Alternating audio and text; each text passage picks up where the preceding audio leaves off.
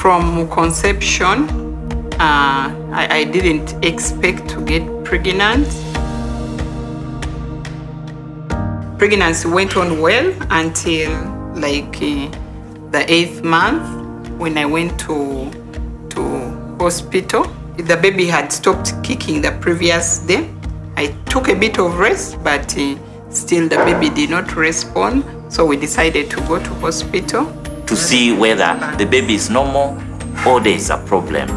But after the drip, there was nothing. during the operation after the you know they cut then they pump out the baby and somehow the nurses all shouted Eh, uh, and then eh, you know i was asking myself what is this then doctor came and told me winnie uh, it is really eh, very unusual we, we found her outside the uterus. She was not inside.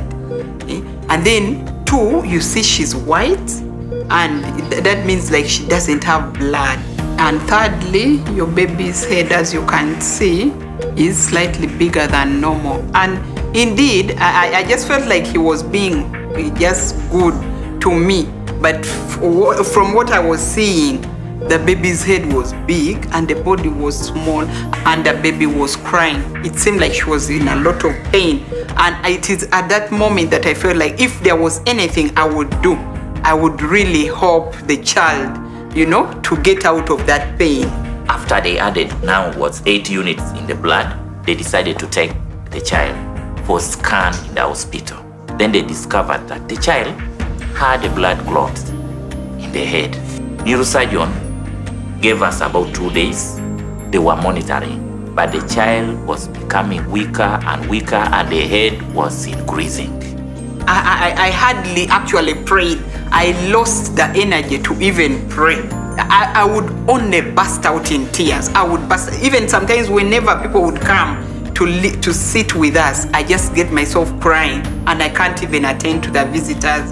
So that night, my sister woke up and started crying, crying, crying to God. God, please, you do something. You save this child. God, this is our child. And then in the morning, the cell members also gathered here and they prayed and they prayed and they said it is well it is well We sat a bit, then we were told, "Eh, by the way, your child is out of the theater. An operation was successful.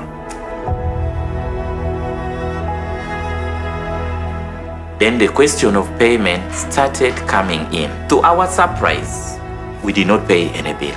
Apart from the scan we did outside the hospital, we did not pay a coin. After 11 days in a special care unit, and operations, medication, and ICU. That was something we saw God alive. uh, one thing this baby actually brought so many blessings more blessings to our home. Every time i look at my baby you know i'm reminded i'm reminded of how god was faithful